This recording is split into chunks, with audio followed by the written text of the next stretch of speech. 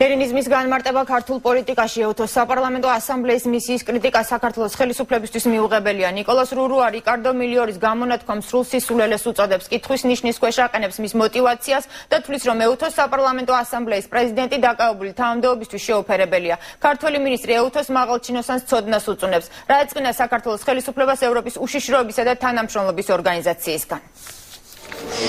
განცხადება, რომელიც მართველი გუნდის აღშფოთების მიზეზი გახდა, ეუთოს საპარლამენტო ასამბლეის პრეზიდენტმა რიკარდო მილიორიმ პარლამენტის თავმჯდომარესთან, დავით ბაქრაძესთან შეხვედრის შემდეგ გააკეთა.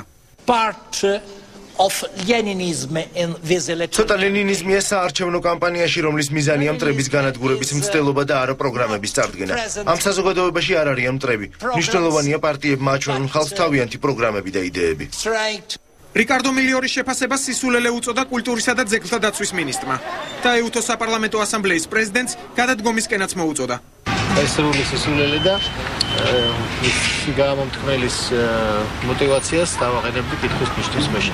ლენინიზმი ან კარგად არ იცის რა არის, მას თუ ასე შტაბის გადარჩა საქართველოსზე ეს ადამიანი უჯობესი აღარ იყოს ეუთოში ყოფილი ელჩი და ქართული ოცნების წევრი ვიქტორ დოლიძე რიკარდო მილიორის განცხადებას ადეკვატურს უწოდებს.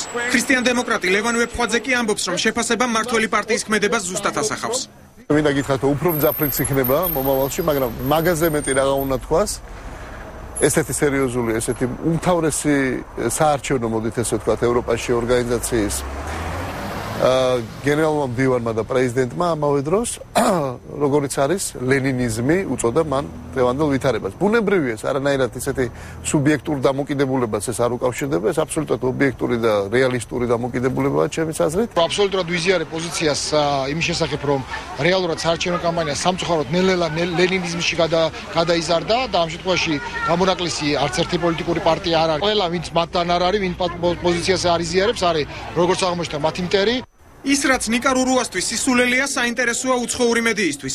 ეუთოს დელეგაციის ვიზიტსა და რიკარდო მილიორის განცხადებას საერთაშორისო სააგენტო როიტერსი აღწელებს. ექსპერტები ფიქრობენ, რომ დასავლეთში საქართველოს ხელისუფლებაზე აზრი ძირეულად არის შეცვლილი.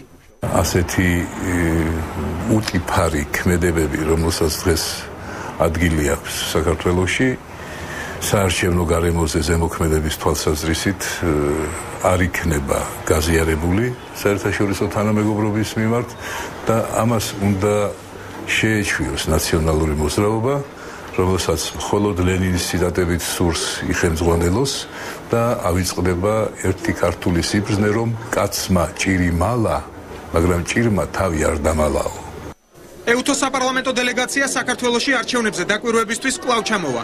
მანამდე კი თბილისში ეუთოს დემოკრატიული ინსტიტუტებისა და ადამიანის უფლებათა წარმომადგენლობა გაიხსნა.